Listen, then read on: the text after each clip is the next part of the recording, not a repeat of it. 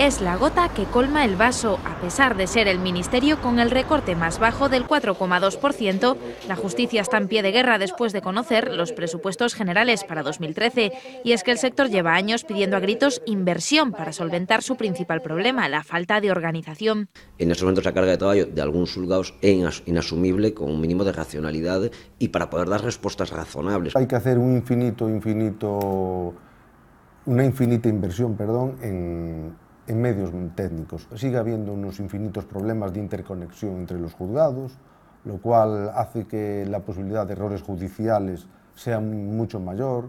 El desgaste que sufre esta Administración podría materializarse en próximas movilizaciones. Sí existe unha corrente de opinión moi importante na carreira que considera que se chega un momento en que é necesario dar o paso da convocatoria de unha folga, podería chegar a darse. Estamos hartos de, de, que no, de ser los parientes pobres de, de la Administración, Estamos hartos de que no haya modernización, estamos desbordados. Insisten además en que con estos ajustes son dos los grandes perjudicados, el ciudadano y la calidad de la justicia.